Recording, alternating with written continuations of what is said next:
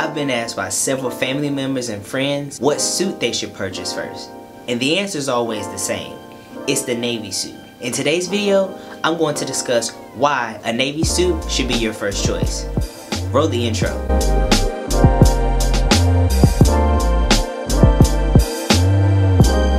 Welcome back gentlemen, my name is Jace and I'm the founder of Esteemed Image and I take pride in helping men discover their best self through style, grooming, and fashion.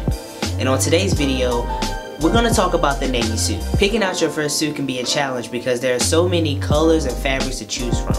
But on today's video, I'm going to discuss why a Navy suit should be your first pick and also provide a few tips for buying your first suit. Number one, versatility. A navy suit can basically be worn for any occasion just shy of black tie. A navy suit is known as the workhorse of a man's wardrobe and rightfully so. It looks great with a white French cuff shirt, but it also looks great with a button down as you see me wearing today. If you're looking to go even more casual, a navy suit can also be paired with a white shirt to give you a street casual look. The suit you see me wearing today is my made to measure suit from Bearcat Bespoke here in Little Rock and it comes in a black, blue, bird's eye weave and I absolutely love this suit.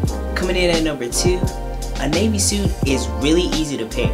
What makes a navy suit my favorite? It basically can be paired with just about any color. Think of it this way. A navy jacket closely resembles that of a denim jacket. And the same goes for the navy trousers. If you can pair it with like your denim jeans or your denim jacket, more than likely you can pair it with your navy suit as well. When it comes to pairing with your navy suit, I would suggest that you go with a suit jacket that has soft shoulders. As you can see, this is more of like a natural, it's, it's not too rigid, so it doesn't give it a super formal look. And I would also suggest that you go with either patch or flat pockets. I decided to go with flat pockets because I wear this suit to work, and so it's a little bit more professional than the patch pockets. Whichever pocket style you choose, you should be good to go.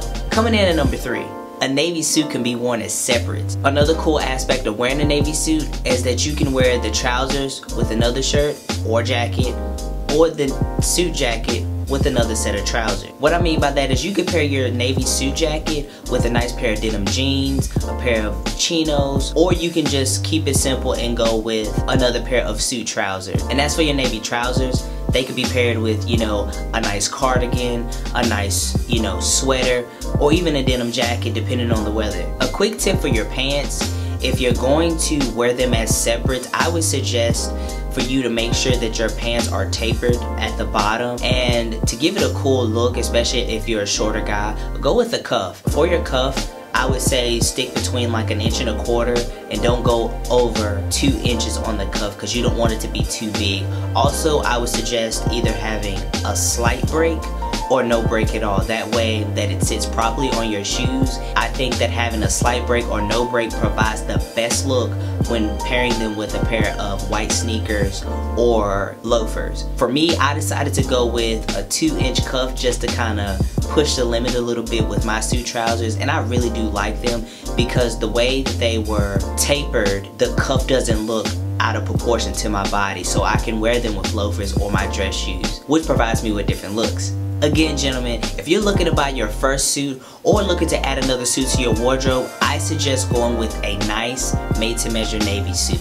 It's versatile, it's easy to pair, and it can be worn in separates. I really hope you guys enjoyed this video and if you did, make sure to hit the thumbs up button, comment, and subscribe to my channel. And also, tell one of your homeboys about my channel. I'm looking to grow, so make sure he comes through and he likes and subscribes as well. And if you're already subscribed, make sure you hit the notification bell. That way when I drop more videos like this, you'll be one of the first people to know. That's all I have for today, gentlemen. Until next video, peace.